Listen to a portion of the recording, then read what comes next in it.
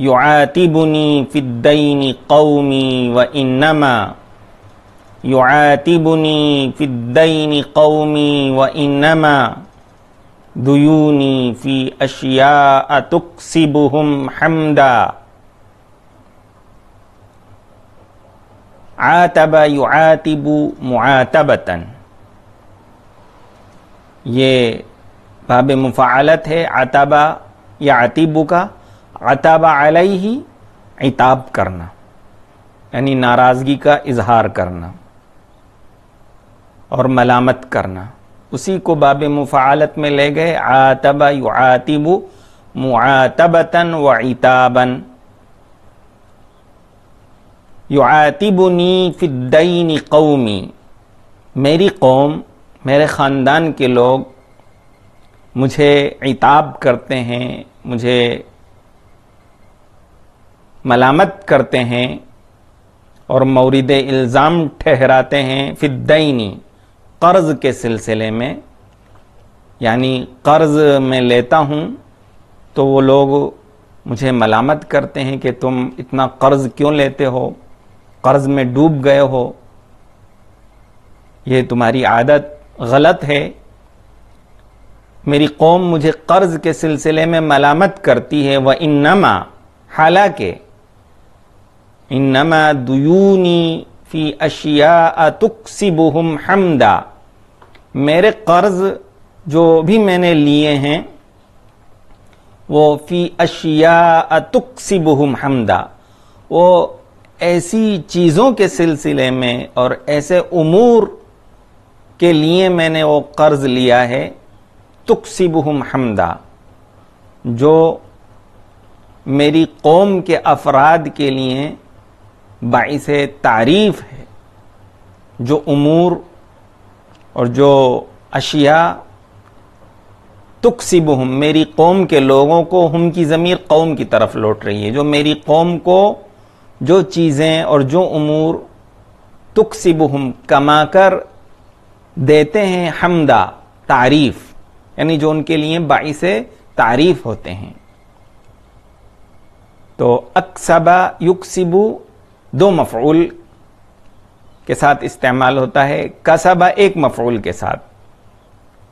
कसब अलहमदा यानी उन्होंने तारीफ़ हासिल कर ली।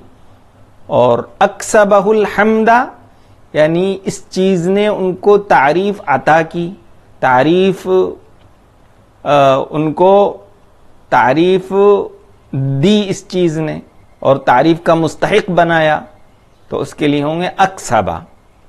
और भी जगह आप इस्तेमाल कर सकते हैं, जैसे इन्नल अमला अविल इस्तिमरार फिल अमल युक्सिबुल इंसाना अतदर्रुबा व तमर्रुना वल मुजावलता। के मुसलसल काम करना इंसान को मश्क अता करता है। या कहिए अतमर्रुनु युक्सिबुल इंसान महारता, कि मश्क इंसान को महारत अता करती है। तो इसी तरीके से तुक्सिबुहुम हमदा, वो उनको अता करती है वो चीज़ें तारीफ़, यानी उनके लिए तारीफ़ का मूजिब होती हैं वो चीज़ें। मैं इसलिए कर्ज लेता हूँ ताकि मैं अच्छे अच्छे काम करूँ। मैं मेहमानों की ज़ियाफ़त करूँ, मैं लोगों की मदद करूँ, गरीबों के काम आऊँ, बेवाओं के सर पर रुपट्टा उड़ाऊं, यतीमों के आँसू पहुँचूँ उनके सर पर हाथ फेरूं, इसलिए मैं कर्ज लेता हूँ और जब ये मालूम होगा कि फ़लाँ शख्स इतने अच्छे अच्छे काम करता है तो किस खानदान का है? ये कहा जाएगा तो खानदान का भी नाम ऊँचा होगा। तो कह रहा है युआती बुनी फिद्दईनी कौमी, मेरी कौम कर्ज लेने के सिलसिले में मुझे मलामत करती है। हालाँकि मेरे कर्ज तो ऐसे उमूर के सिलसिले में हैं, जो मेरी कौम के लिए बाईस तारीफ़ हैं। उनको तारीफ़ अता करने वाले हैं। अशिया का ये वस्फ है, नात है, सिफत है, मौसूफ और तुकसिबुहम हमदा सिफत है। आप इसकी जिद भी इसको इस्तेमाल कर सकते हैं। जैसे इन अमल कहादा युक्सिबु कम्मा तुम्हारा ये काम तुम्हें मजम्मत अता करेगा। तो दो मफूल के साथ इसको इस्तेमाल किया जाता है। अशिया गैर मुनसरिफ है, कुरान शरीफ में है, ला तस अलू अन अशिया इन तुबदलकुम तसुकुम और आप जानते हैं कि ये असल में शई आऊ था, इसलिए अलिफ ममदूदा है और ये दो सबब, ये दो के कायम मकाम होता है। असमा उन मुनसरीफ है, क्योंकि ये अफ़ाल उनके वज़न पर है। और बज़ाहिर अशिया असमा एक जैसा लग रहा है, लेकिन इसमें तालील हुई है। ये असल में शई आऊ था। अलम यर कौमी कई फ़ूसिर मर्रतन व उसिर हत्ता तबलुगल उसरतुल जहदा क्या मेरी कौम ये नहीं देखती है? कई फ़ूसिर मर्रतन? कि मैं कभी मालदार हो जाता हूँ? ऊसिरु। आसरा यूसिरु ईसारन। ये यसार से बना है। यसार मने खुशहाली। और आसरा यूसिरु खुशहाल होना। आसरा यूसिरु ईसारन, इसमें सरूरत है, खुशहाल हो गया। सारा दा यसारिन, यानी वो मालदारी और खुशहाली वाला हो गया। वो उसर और उसर उसकी जिद है, युसर की। तो उसरो मैंने तंगदस्त होना, इसमें भी सरूरत के लिए हमजा। मेरी कौम ये नहीं देखती है कि मैं कभी खुशहाल हो जाता हूँ, मालदार हो जाता हूँ, और कभी तंगदस्त हो जाता हूँ। हती तबलगल उसरतुल जहदा, यहाँ तक के तंगदस्ती, मशक्क़त और फ़क्र फ़ाक़े की हद तक पहुँच जाती है। तबलगल उसरतुल जहदा जहदा अलफ़ाक़त व शिद्दत अलमशक्क़ा। यानी बहुत तंग दस्त हो जाता हूँ कि फाके की नौबत आ जाती है। तो ये दलील है इस बात की कि मैं खुशहाल भी रहता हूँ, यानी मेरे पास मालो दौलत भी होती है, लेकिन वो सब मैं गरीबों को दे देता हूँ और फिर तंगदस्त हो जाता हूँ, फिर कर्ज लेने की नौबत आ जाती है, गरीबों की खिदमत करने के लिए। फमा जादनिल इख्तार मिनहुम तकर्रुबन वला जादनी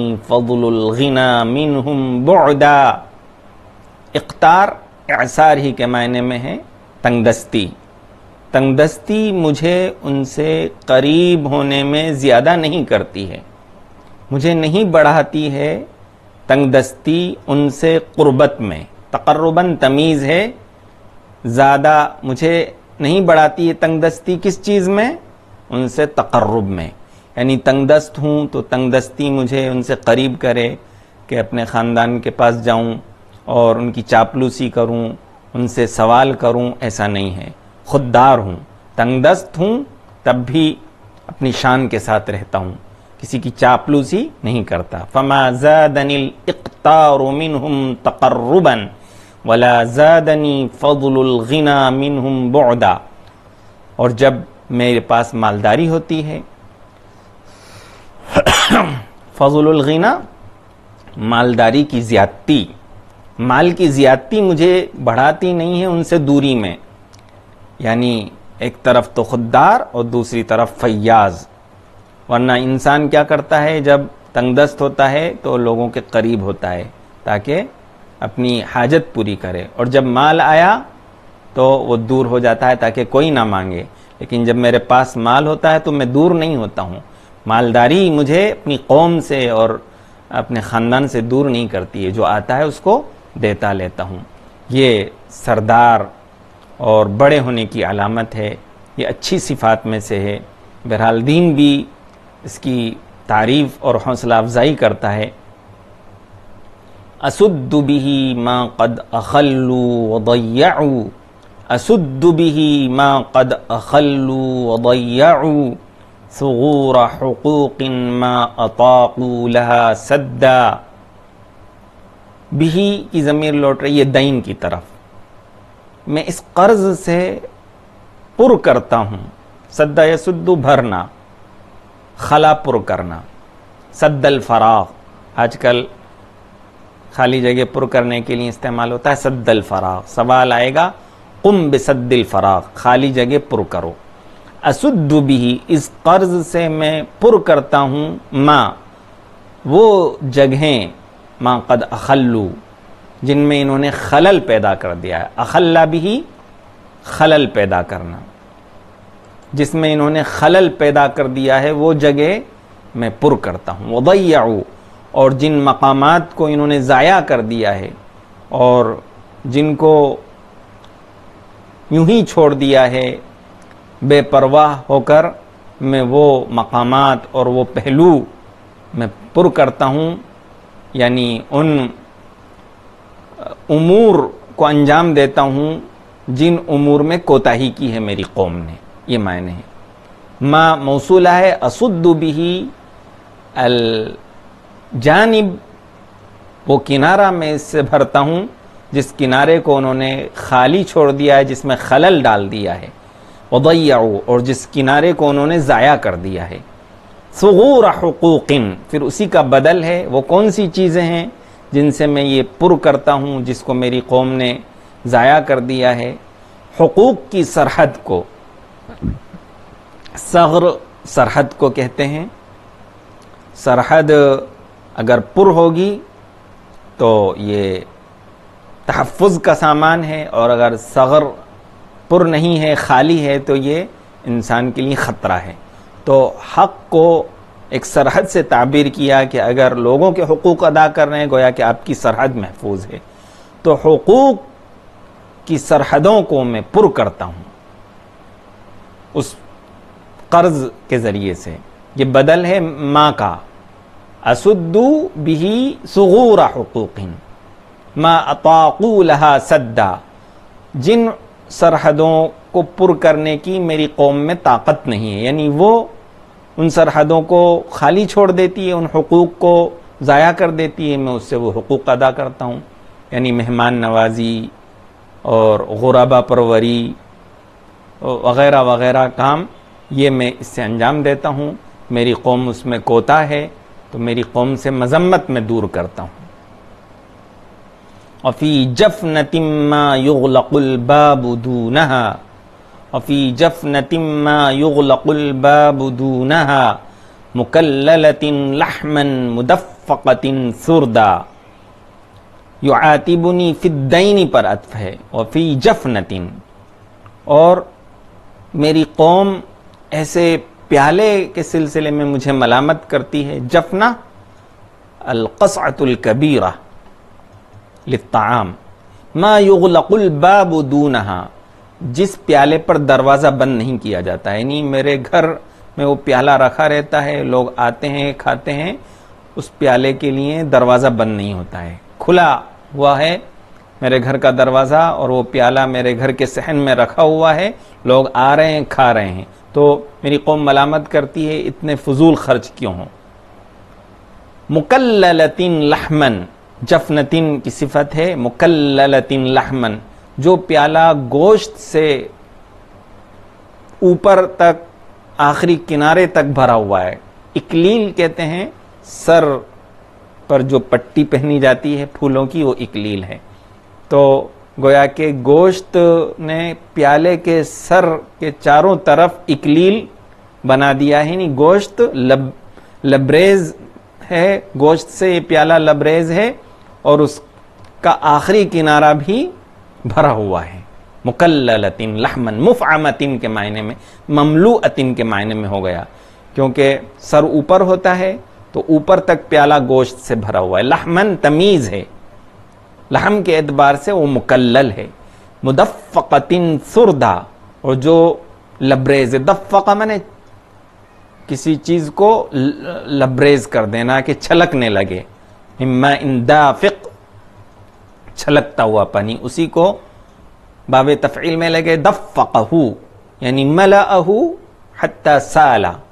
उसको भर दिया, यहाँ तक कि वो बहने लगा। मुदफ़क़तिन ये भी मुकल्लतिन ही के मायने में है, तकरीबन, जो शरीद से भरा रहता है। कभी गोश्त से भरा रहता है, कभी शरीद से भरा रहता है। वफ़ी फ़रसिन नहदिन अतीकिन जालतुहु हिजाब लिबैती या सुम्मा अखदमतुहु अब्दा। वफ़ी फ़रसिन, मेरी कौम मुझे मलामत करती है फ़रसिन नहदिन। नहद अलफ़रसुल नफीस सरी उलजरी बहुत तेज दौड़ने वाला उम्दा घोड़ा फ़ी फरसिन नह दिन अतीकिन भी उसी मायने में है अच्छी नस्ल का घोड़ा कवि घोड़ा जाल तुहू जिस घोड़े को मैंने हिजाब लिबैतिया अपने घर के लिए हिजाब बनाया है घर के लिए हिजाब बनाना मतलब है घर के लिए एक इज़्ज़त का सामान बनाया है। क्योंकि अगर घर में सवारी नहीं है, घोड़ा नहीं है तो लोग देखेंगे कि ये घर गरीबों का है और लोग जिल्लत की निगाह से देखेंगे। तो घोड़ा पर्दा बन जाएगा जिल्लत से। जिल्लत की निगाह नहीं पड़ने देगा। वो एक शान बन जाएगा।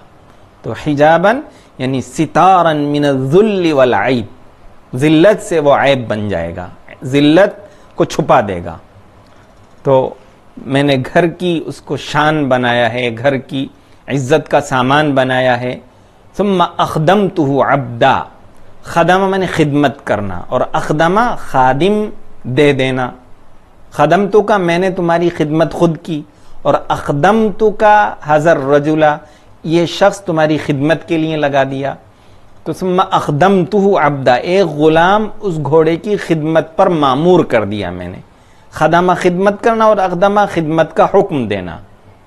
जैसे अखदम तो ज़यीफ़ी वलदी, मैंने अपने मेहमान के लिए खादिम बना दिया अपने बच्चे को।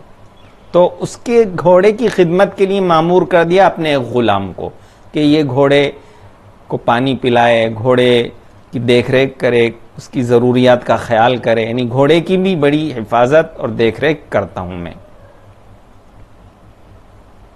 तो ये अशार बहरहाल इंसान की अच्छी सिफात को बता रहे हैं कि मैं ऐसा हूँ और ये जो है कि करम है, सखावत है और ख़ुददारी है और फयाजी है, ये अच्छी सिफत है। इसमें जो अल्फाज हैं वो इस्तेमाल के काबिल हैं। आतबहू फ़ी, आप इसको इस्तेमाल कर सकते हैं। जैसे मेरे उस्ताज ने गायब होने पर मुझे इताब किया तो आप कहेंगे, आतबनी उस्ताजी फ़ी ग़ियाबी मिनल फ़सल, फ़ी आदमिल हजूर। या फ़ी आदमिल अलक़ियामी बिल अमल। काम ना करने पर मेरे उस्ताद ने मुझे इताब किया। और अक्सबहू भी आप इस्तेमाल कर सकते हैं। इन हाजल किताब अल्लजी अल्लफ़तहू अक्सबनी मदहन कसीरन व सनाअन हसनन। ये किताब जो मैंने लिखी है, इस किताब ने मुझे बड़ी तारीफ़ अता की है। इसी तरीके से आप ज़ादनी मिनहुम तकर्रबन। आप कह सकते हैं इन हदिल अहवाल ज़ादतिल मुस्लिमीन लुजू इन हालात ने मुसलमानों को अल्लाह की तरफ़ आहुजारी करने में बढ़ा दिया। और सद्दहू पुर करना, सद्दा हजल जानिब यह किनारा पुर कर दिया। अखल्ला भी उसको खाली छोड़ दिया। अखललता बेहाजल जानिब, तुमने इस पहलू में कोताही की, आप कहेंगे। इसी तरीके से अखदमहू अखदम तू अखदम तू का इब्नी, मैंने तुम्हारी खिदमत के लिए अपने बेटे को लगा दिया है। तुम्हारी खिदमत का हुक्म दे दिया अपने बेटे को। तो दो मफूल आएँगे। जिसकी खिदमत के लिए आप कहें और जिससे कहें। अखदम तू का फुलानन, फ़ुला को मैंने तुम्हारी खिदमत पर मामूर कर दिया। वाखिर दावाना अनिलहमदिल्ला रबालमीन वसल्ला वसलम नबी वाली वसहाबी अजमाइन।